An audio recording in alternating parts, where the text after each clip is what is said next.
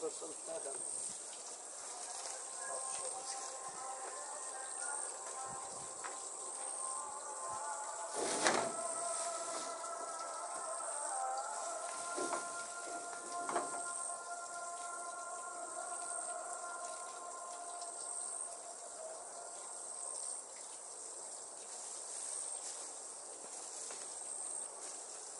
bunu bir sisteme oturtur da.